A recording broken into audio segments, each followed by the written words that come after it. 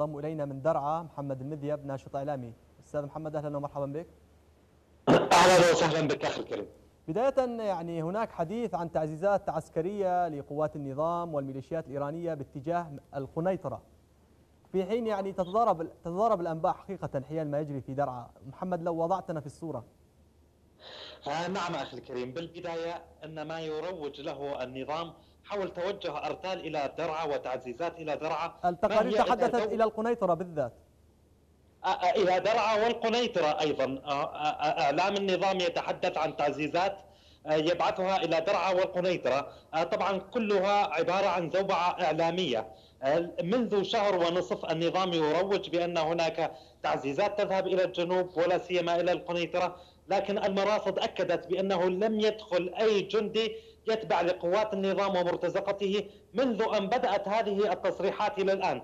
بالمقابل أيضا يروج النظام عن انسحاب الميليشيات الإيرانية من الجنوب السوري ولا سيما من درعا والقنيطرة في الآونة الأخيرة وبعد الضربات الإسرائيلية لكن إلى هذه اللحظة لم يتم انسحاب أي أي شخص أو أي مقر من الميليشيات الإيرانية المتواجدة في الجنوب وعددها 30 موقع أغلبها يتوزع في القنيطرة وفي اللواء 90 تحديدا أيضا في درعا في اللواء 12 فقط كان هناك تغيير لمواقع تواجدهم في اللواء 12 وأيضا في اللواء 90 وفي منطقة مثلث الموت الواقعه بين ريفي درعا والقنيطرة لم تدخل تعزيزات للنظام ولم يتم انسحاب الإيرانيين والميليشيات الإيرانية من الجنوب السوري.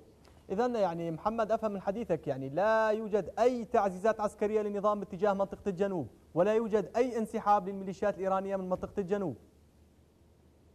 بتاتا. نعم أخي الكريم. طب يعني نحن يعني نحن في إطار فقط يعني. تفضل. نعم. تفضل. التعزيزات التي دخلت لمرة واحدة دخلت إلى مدينة البعث إلى القنيطرة وتم انسحاب هذه القوات التي دخلت رتل واحد مؤلف من خمس دبابات وما يقارب ثلاث ناقلات جهد دخلت خلال 24 ساعة تم انسحابها. دخل هذا الرتل من أجل التصوير فقط. قام النظام بتصوير هذا الرتل ودخوله إلى مدينة البعث في القنيطرة وتم انسحاب هذا الرتل بعد 24 ساعة من تصويره وأكدت المراصد بأن هذا الرتل ذاته التي الذي دخل خرج في اليوم التالي.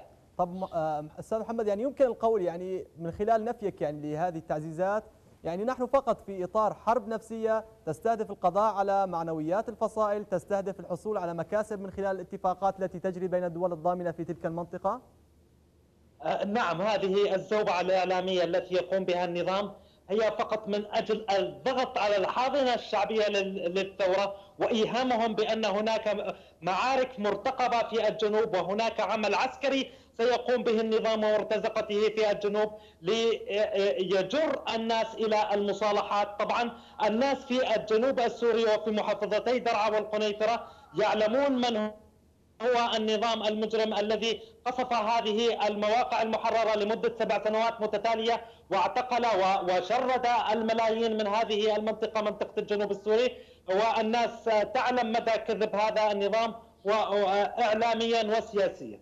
آه السؤال الأخير لك يا أستاذ محمد. هل فيما يخص المدنيين هل هدوء الحذر هو سيد الموقف الآن سواء في درعا والقنيطرة بحسب اطلاعك أنت أقرب إلى المنطقة أم يعني يوجد تطمينات كافية من الفصائل لهؤلاء المدنيين؟